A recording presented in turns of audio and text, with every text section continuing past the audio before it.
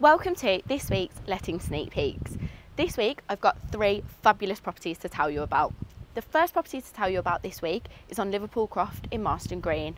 This is a recently redecorated three bedroom semi detached property. This property benefits from a great open plan kitchen diner. The property also has a great sized driveway and garage parking.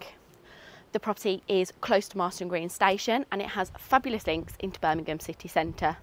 This property will be offered on an unfurnished basis at a price of £1,150 per calendar month and this property is available now.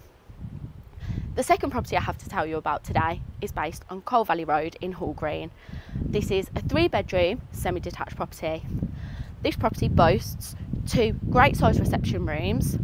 It also has been neutrally decorated throughout and it has a newly fitted kitchen.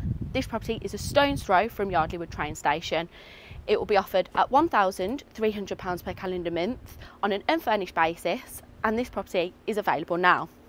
Finally, the last property for me to tell you about is based on St Chad's Mews in Lapworth. This property is a neatly presented two bedroom terrace property. This property has a beautiful rear garden. It's been neutrally decorated throughout. This property is a stone's throw from Lapworth Station.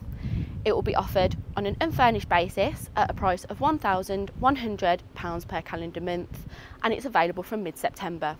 If you would like any more information on these properties, please give us a call on 0121 775 0101 and it's option 2 for lettings.